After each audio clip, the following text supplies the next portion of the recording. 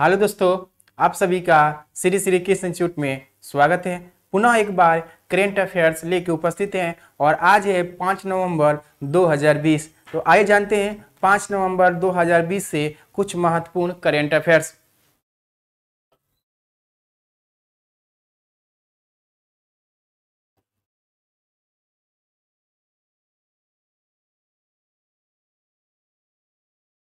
पहला प्रश्न है कि भारत के किस राज्य में पहली सौर ऊर्जा से चलने वाली मिनी ट्रेन का उद्घाटन किया गया है?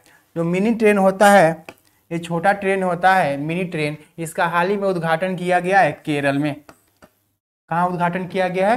केरल में उद्घाटन किया गया है। यहाँ के सीएम जो है, पिनरी विजयन पिनियरी विजयन ने इसका उद्घाटन किया है। कौन किया है? पिनियरी विजयन ने इसका उद्घाटन किया है केरल में।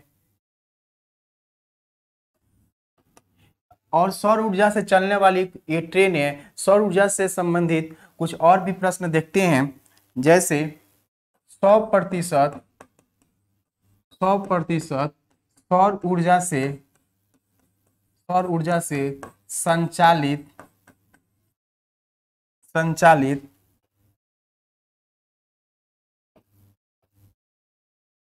संचालित, यानी सौ प्रतिशत सौर ऊर्जा ऊर्जा से संचालित संचालित भारत का भारत का पहला शहर पहला शहर दीव है। कौन है? दीव। यानी सौ प्रतिशत सौर ऊर्जा से संचालित भारत का पहला शहर कौन है? दीव है। उसी तरह पूछे सौ प्रतिशत सौर ऊर्जा से, सौर ऊर्जा से संचालित भारत का पहला रेलवे स्टेशन यानी सौ प्रतिशत सौर ऊर्जा संचालित भारत का पहला रेलवे स्टेशन वो है गुवाहाटी।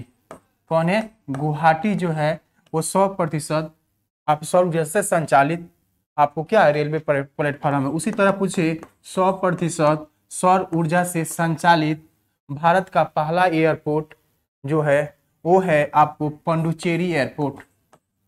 यानी पंडुचेरी जो एयरपोर्ट है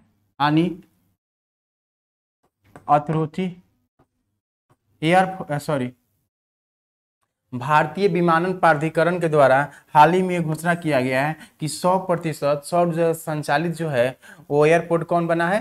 पंडुचेरी बना है। तो इसको याद रखेंगे, सौर ऊर्जा से संबंधित है। और सौर ऊर्जा को बढ़ावा देने के लिए हाल ही में आपको उत्तराखंड उत्तराखंड के हमारे सीएम जो हैं, त्रिवेंद्र सिंह रावत ने सौ सौ सौर सौ रोज़गार योजना शुरू किए थे। इसमें युवाओं के द्वारा सौर सौ रोज़गार योजना दिए, शुरुआत किए थे। रोज़गार योजना की शुरुआत किए थे देहरादून से। इसमें ज़्यादा से ज़्यादा लोगों को रोज़गार देके किसके लिए? तो सौर ऊर्जा को बढ़ावा देने के लिए, यानी अलग अलग खेत या घरों पर क्या लगाया जाएगा? आपको सौर ऊर्जा सौर ऊर्जा उत्पादन करने वाला सब स्टीम जो होता है अंटीना उसको लगाने के लिए शुरू किया गया था उत्तराखंड सरकार के द्वारा। तो आइए देखते हैं अगला प्रश्न। देखिए, अगला प्रश्न है, किस राज्य में मानसर झील विकास योजना की शुरुआत किया गया? तो जो आपको एग्ज़ाम हुआ चार अक्टूबर को एयरफोर्स में, उसमें हमने इसके पिछले दे, आप जो देखे करेंट अफेयर्स का, जो आपको चार अक्टूबर को आया था और तीन अक्टूबर का, जिसमें आपको असम का राज्यपाल हो, या मुख्यमंत्री हो, या राजधानी हो, जैसे नेपाल की राजधानी क्या है, या म्यांमार की राजधानी क्या है तो ये करेंट अफेयर्स जो पूछा गया था, वो आपको ये प्रीवियस जो आप करेंट अफेयर्स का प्ले लिस्ट है एग्ज़ाम में जाने से पहले एक बार ज़रूर देखें।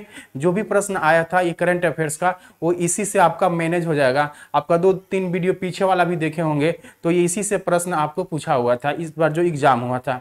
उसके अलावा कॉमनवेल्थ गेम्स जो था, उसके बारे में बताए थे ही ओलंपिक खेल से जो खेल था 2020 में आयोजन नहीं हो पाया, अब 2021 में टोक्यो में होगा, उस पर भी हमने चर्चा किया था, जो आपके एग्जामों में पूछा गया था। आपको चार अक्टूबर के फ़र्स्ट सीटिंग में और सेकेंड सीटिंग में भी बहुत ऐसा प्रश्न था जो करेंट अफेयर्स का, जो आपको इससे ही आपका पूरा हो जाएगा। तो इसको वीडियो को देखेंगे एग्ज़ाम जाने से पहले और देखने का समय समय ज़्यादा नहीं है तो क्या करेंगे उसको स्पीड को बढ़ा कर देखेंगे जल्दी से जल्दी केवल देख लेंगे तो आपको रिवीजन हो जाएगा और इसका आपको पीडीएफ लिंक भी है, पीडीएफ लिंक पर जाके आपको इसको डाउनलोड कर लेंगे और इसको पुनः पढ़ लेंगे एक बार। तो आइए देखते हैं प्रश्न को।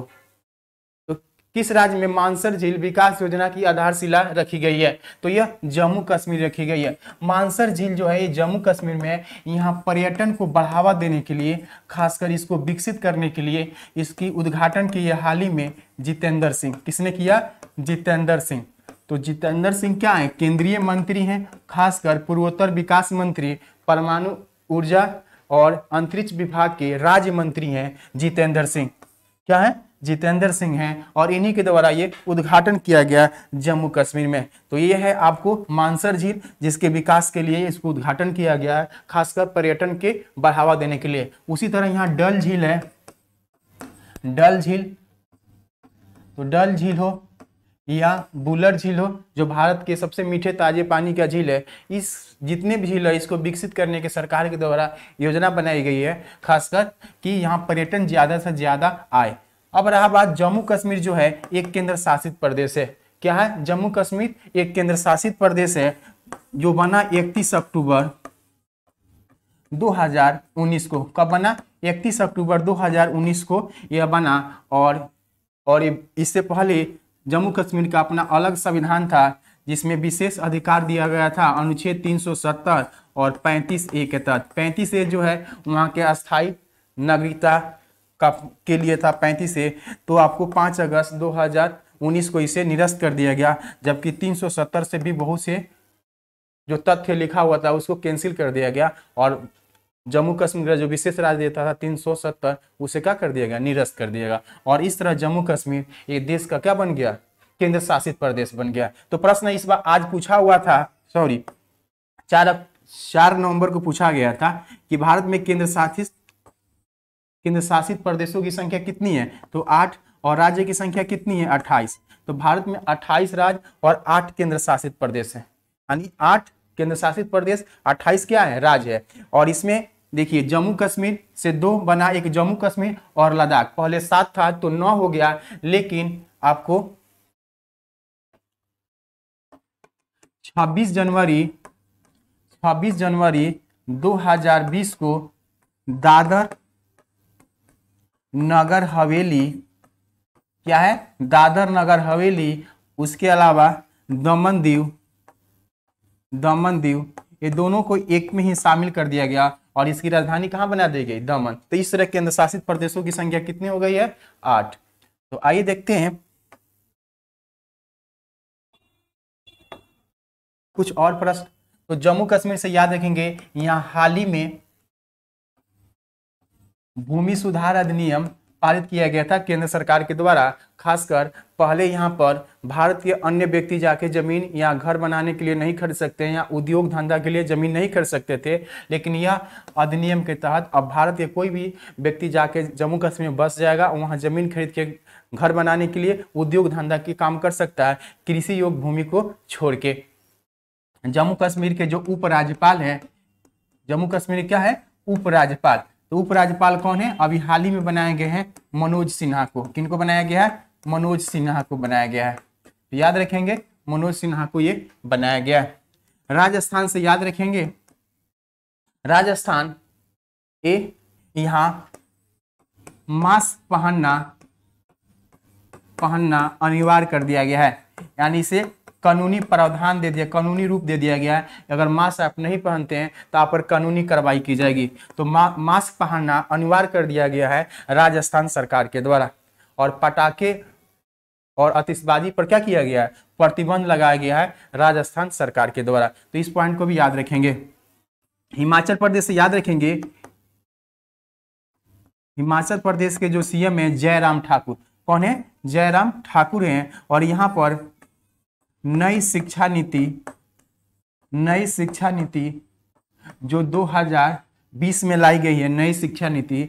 डॉक्टर कस्तूरी रंगन जिसके अध्यक्ष थे तो यह नई शिक्षा नीति लागू करने वाला देश का पहला राज्य बनेगा आपको हिमाचल प्रदेश। और गोवा के सीएम जो हैं, प्रमोद सावंत। देखिए, सीएम का नाम इसलिए बताया, बता रहे हैं अभी कि आपके एग्ज़ाम में बहुत पूछा जा रहा है अभी। तो गोवा के सीएम कौन है? प्रमोद सावंत है। कौन है? प्रमोद सावंत। ये गोवा जो है, ये क्षेत्रफल की दृष्टि से भारत का एक छोटा राज्य है। क्या है? छोटा राज्य है। अभी हाल ही में उच्च शिक्षा के लिए यहाँ डिस्टवाई यूट्यूब चैनल लॉन्च किया गया था। कहाँ? गोवा में। और गोवा सरकार ने प्रधानमंत्री सम्मान निधि योजना का लाभ पहुँचाने के लिए जनता तक एक इंडियन पोस्ट ऑफ़िस से क्या किया था? समझौता किया था। और हर घर जल पहुँचाने वाला ये देश का पहला राज्य बन गया है। कौन? गोवा, और यहाँ पर मारमू गोवा बंदरगाह है, जो पर्यटन का बढ़ावा देता है, और यह भारत का एक छोटा सा राज्य है। तो आइए देखते हैं अगला प्रश्न।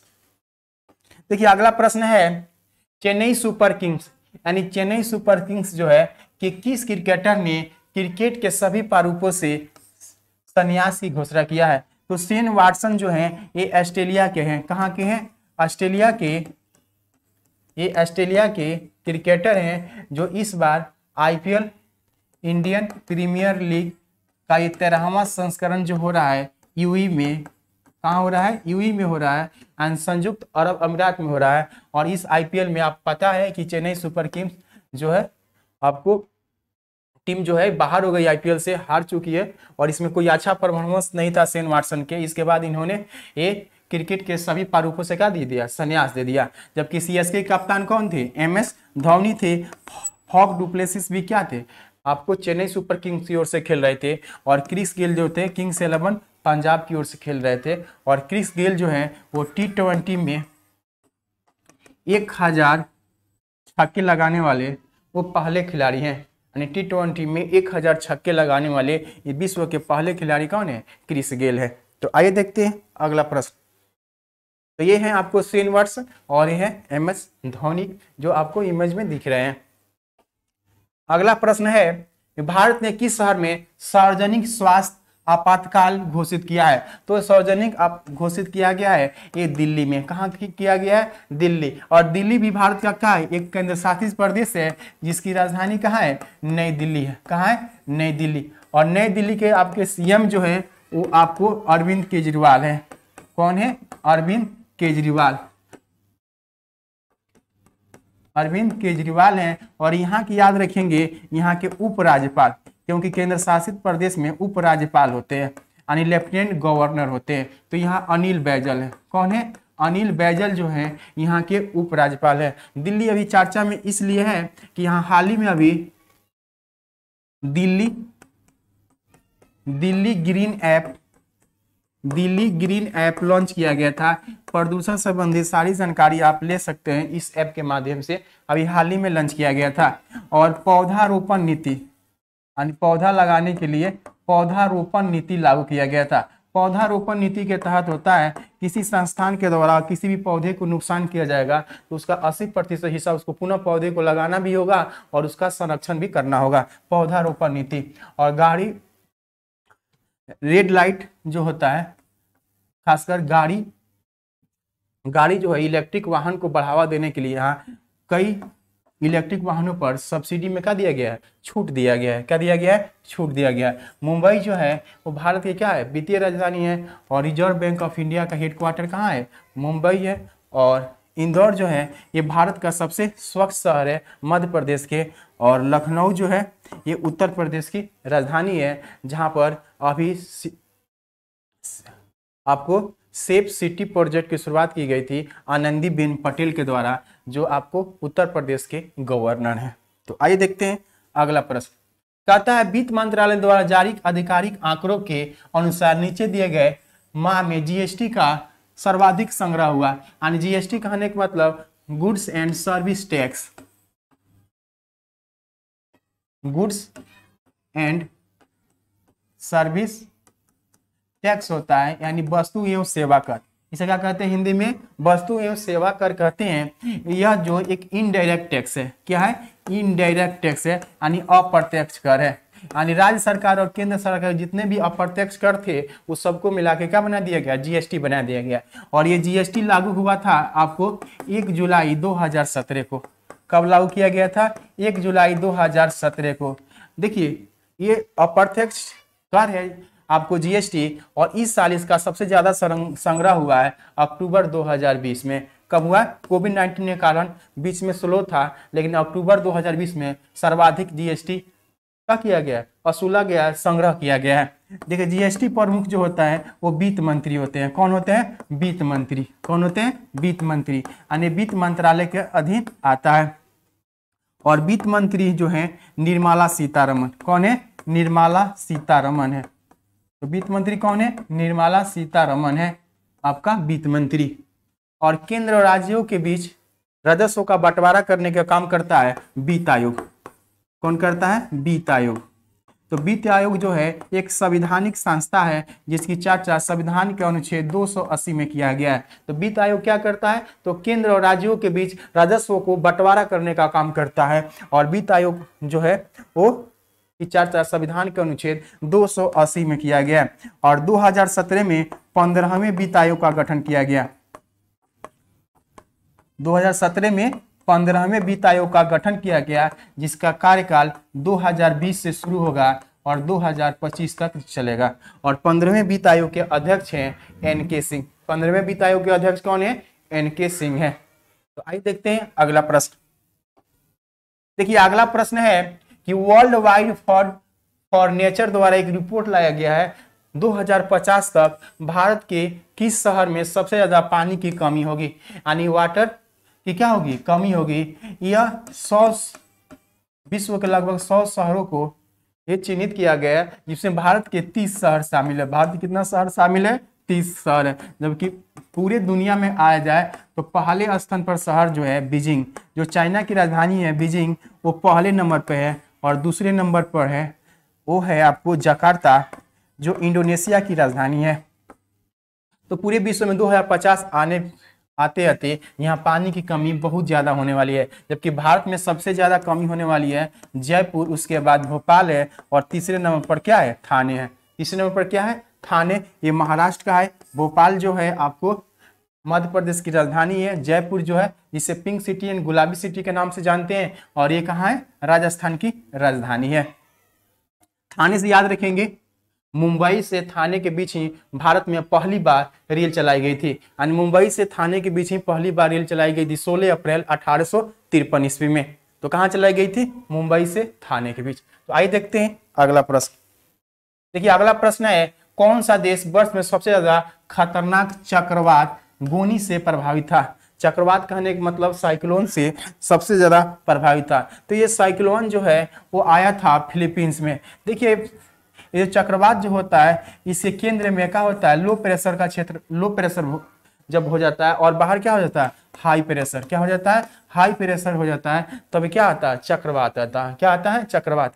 और इस बार सबसे ज़्यादा चक्रवात से प्रभावित हुआ है 2020 में, वो है फिलीपींस। कौन है? फिलीपींस।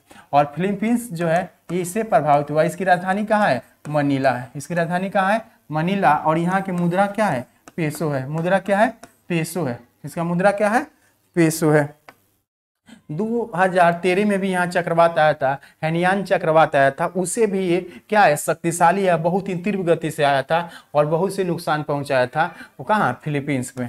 फिलीपींस में पहुँचाया था। यही याद रखेंगे फिलीपींस की राजधानी जो मनीला है, वहीं पर एशियाई विकास बैंक का हेडक्वार्टर है, यानी एडीबी कौन है? एडीबी यानी एशियन डेवलपमेंट बैंक है, जिसकी स्थापना उन्नीस छियासठ ईस्वी में किया गया था। और इसका उपाध्यक्ष जो है, एक भारतीय है। इसका उपाध्यक्ष कौन है? एक भारतीय है, जिनका नाम है अशोक लावासा। क्या नाम है?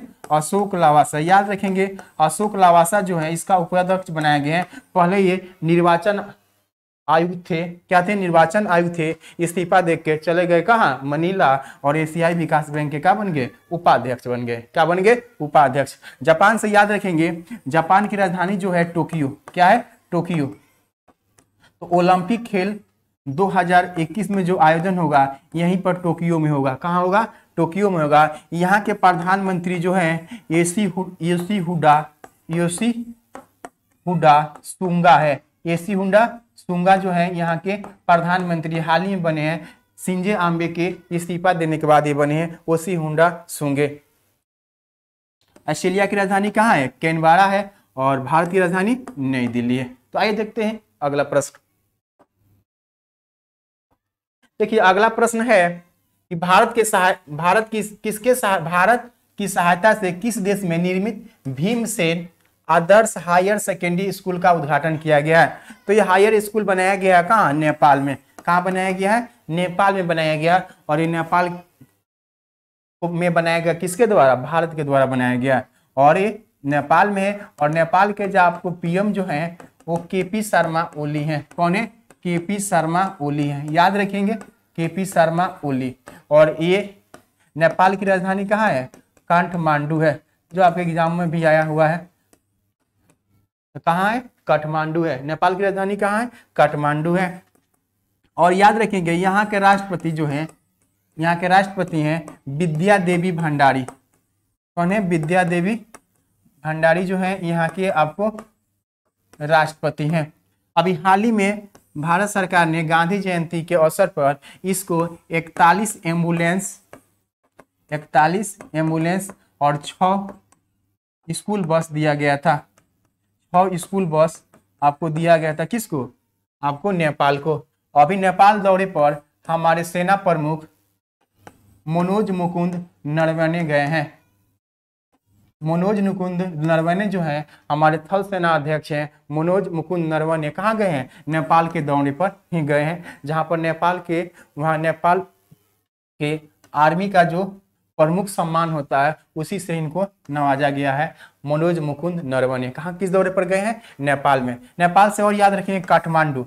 काठमांडू में आपको सार्क का हेडक्वार्टर बनाया गया है। सार्क जो है, ये आठ देशों का समूह है। यानी the South Asian, the South Asian Association for Regional Cooperation. यानी दक्षिणी एशियाई क्षेत्रीय सहयोग संगठन है, जिसे हिंदी में हम लोग कहते हैं दक्षेश क्या कहते हैं इसे? दक्षेश इसकी स्थापना हुई थी 8 दिसंबर 1985 ईस्वी में, और इसका हेडक्वार्टर कहाँ है? काठमांडू में ही है। और इसमें आठ देश शामिल है, जिसमें नेपाल है। आपको नेपाल, बांग्लादेश, भूटान, मालदीव, श्रीलंका, पाकिस्तान, अफ़गानिस्तान, ये सब सदस्य देश हैं। किसका? सार्क। का बांग्लादेश से याद रखेंगे, बांग्लादेश अपने 2021 में,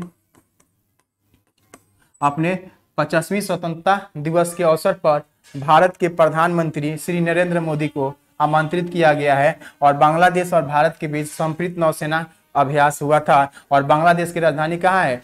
ढाका है और यहाँ के आपके प्राइम मिनिस्टर शेख हसीना है। कौन है? शेख हसीना है। और म्यांमार की राजधानी कहाँ है? नेपादी और भूटान की राजधानी कहाँ है? थिम्पू। कहाँ है? थिम्पू। अभी हाल ही में मनोज मुकुंद नरवणे जो हमारे थल सेना प्रमुख है, वो म्यांमार दौरे पर भी गए थे। म्यांमार दौरे पर भी गए थे और वहाँ जाने के बाद इन्होंने भारत के एक पंडुबी सिंधु वीर जो पंडुबी है, उसे लीज पर दिया गया है। किसको? आपको म्यांमार में। और सीतुए बंदरगाह कहाँ है? म्यांमार में है, जो आने वाले अगले साल से भारत भी इसका क्या करेगा? प्रयोग करेगा। तो आइए देखते हैं अगला प्रश्न। देखिए हाल ही में किस देश ने दुनिया का सबसे बड़ा जनगणना अभियान शुरू किया है? तो ये चीन ने शुरू किया है। चीन जो है, विश्व में सर्वाधिक जनसंख्या किस देश में है? चीन में है और ये अपनी सातवीं जनगणना की शुरुआत किया है। यानी सातवीं जनगणना ये किया जाएगा डिजिटल माध्यम से। डिजिटल माध्यम से किया जाएगा, यानी कोविड 19 के दौरान। इसकी छवी जनगणना हुई थी 2010 में। कब हुई थी? 2010 में। यानी 10-10 बरस पर यह अपनी जनगणना करवाता है कौन? चाइना। और चाइना जो है, ये डिजिटल माध्यम से सातवीं जनगणना कराएगा, जिसमें एक अरब से ज़्यादा लोग क्या लेंगे? भाग लेंगे। इसलिए चर्चा में है, क्योंकि सबसे बड़ा जनसंख्या वाला देश चीन है, और उसके बाद अपना भारत है। चीन की राजधानी जो है, वो बीजिंग है। चीन की राजधानी कहाँ है? आपको, चीन की राजधानी है बीजिंग। और इसका सबसे बड़ा शहर है, सबसे बड़ा शहर का नाम है आपको संघाई सबसे बड़ा शहर का नाम क्या है? संघाई और सी जिनपिंग जो है, यहाँ के आपको राष्ट्रपति हैं। सी जिनपिंग क्या है? यहाँ के राष्ट्रपति हैं। और आइए देखते हैं भारत से। देखिए, भारत में पहली बार जनगणना, भारत में पहली बार जनगणना अठारह सौ ईस्वी में शुरू हुआ था। लॉर्ड मेयो उस समय हमारे वायसराय थे, लॉर्ड मेयो। कौन थे? Lord Mayo. तो लॉर्ड मेयो के समय ही भारत में जनगणना की शुरुआत हुआ, लेकिन नियमित जनगणना की शुरुआत जो हुआ, वो नियमित जनगणना, वो हुआ अठारह में लॉर्ड रिपन के समय। यानी लॉर्ड रिपन के समय अठारह में जनगणना हुआ, और हमारे यहाँ भी जनगणना वो दस दस वर्ष के अंतराल पर होता है। अभी तक 2011 में सॉरी 2011 में पंद्रहवीं जनगणना हो चुका है। पंद्रहवीं जनगणना 2011 में हुआ था। भारत में पंद्रहवीं जनगणना कब हुआ था? 2011 में। और फिर आगे कब होगा जनगणना? तो 2021 में भारत में भी क्या होगा? जनगणना होगा। और जनगणना जो है भारत में, वो संघ सूची का एक विषय होता है और केंद्र सरकार ही जनगणना करवाती है। कौन करवाती है? केंद्र सरकार ही जनगणना कराती है। तो आइए देखते हैं अगला प्रश्न। ये चाइना से संबंधित कुछ जानकारी था जिसके बारे में अभी हमने चर्चा किया था। तो अगला प्रश्न है कि विश्व का सबसे बड़ा प्लास्टिक कचरे का निर्माता देश कौन बन गया? यानी प्लास्टिक कचरा का सबसे ज़्यादा भंडार किसके पास हो गया है? तो अमेरिका के पास हो गया। किसके पास? अमेरिका के जो है कचरे निर्माता में देश में कहा? विश्व में कहा हो गया? पहले स्थान पर हो गया है। और इसकी राजधानी कहाँ है? आपको बासीघटन डीसी बासाघटन डीसी में ही आपको जुड़वा बहन किसे कहा जाता है? आईएमएफ को और वर्ल्ड बैंक को। इनको हम लोग जुड़वा बैंक, जुड़वा बहन के नाम से जानते हैं और दोनों का हेडक्वार्टर कहाँ है? बासीघटन डीसी यानी डिस्ट्रिक्ट ऑफ़ कोलंबिया आईएमएफ का मतलब होता है इंटरनेशनल मॉनेटरी फंड यानी अंतर्राष्ट्रीय मुद्रा कोष है और वर्ल्ड बैंक आपको वर्ल्ड बैंक ही है इसका नाम। तो इसको याद रखेंगे, दोनों का हेडक्वार्टर कहाँ है? बासीगटन अब चीन से याद रखेंगे, कार्बन उत्सर्जन में, यानी सीओ टू विश्व में सर्वाधिक कार्बन उत्सर्जन वाला देश कौन है? तो चीन है पहले स्थान पर। चीन कौन है? पहले स्थान पर है और इसका भाई जो है वो दूसरे स्थान पर है। जो देश जितना तेज़ी से विकसित होता है उतना ज़्यादा उद्योग धंधा लग, उद्योग लगाता है। उद्योग लगाने से ज़्यादा ज़्यादा क्या होगा? प्रदूषण होता है। तो पहले स्थान पर कौन है? चाइना। और दूसरे स्थान पर उसका भाई अमेरिका है। और तीसरे स्थान पर यूरोपियन संघ है। कौन है? यूरोपियन संघ। याद रखेंगे यूरोपियन संघ में पहले आपको ब्रिटेन भी था और इसी साल यूरोपियन संघ से ब्रिटेन का हो गया, अलग हो गया। इस तरह यूरोपियन संघ में सदस्य देशों की संख्या घटकर कितनी हो गई? सत्ताईस हो गई। और यूरोपियन संघ का हेडक्वार्टर कहाँ है? बुर्सलेस है, जो बेल्जियम की क्या है? राजधानी है। तीसरे स्थान पर यह है, और भारत भी पीछे नहीं है, ये चौथे स्थान पर है। भारत क्या है? चौथे स्थान पर है कार्बन उत्सर्जन में। जबकि भारत जो है SO2 यानी सल्फ़र डाइऑक्साइड उत्पादन करने में विश्व में पहले स्थान पर है। किस स्थान पर है? पहले स्थान पर है। जबकि याद रखेंगे जापान जो है ये दो वादा किया है कि आने वाले 2050 तक ये शून्य कार्बन उत्पाद शून्य कार्बन उत्सर्जन वाला देश बन जाएगा। यानी कहने का मतलब शून्य कार्बन उत्सर्जन का मतलब होता है जितना कार्बन का ये उत, मतलब उत्सर्जित करेगा उतना को क्या कर लेगा? अवशोषित कर लेगा। तो ये बोला है कौन? जापान। और जापान की राजधानी कहाँ है? टोक्यो है जो 2021 जुलाई मंथ में यहाँ का शुरू होने वाला है? कॉमन सॉरी ओलंपिक खेल का आयोजन होगा 2021 में। 2020 में ही होने वाला था, लेकिन कोविड 19 के कारण ये नहीं हो पाया। और यहाँ हाल ही में यहाँ के प्रधानमंत्री बने हैं योशी हुडा सुंगा। तो ये था कुछ महत्वपूर्ण करेंट अफेयर्स जिसके बारे में हमने क्या किया? चर्चा किया। तो मिलते हैं नेक्स्ट वीडियो के साथ। Thank you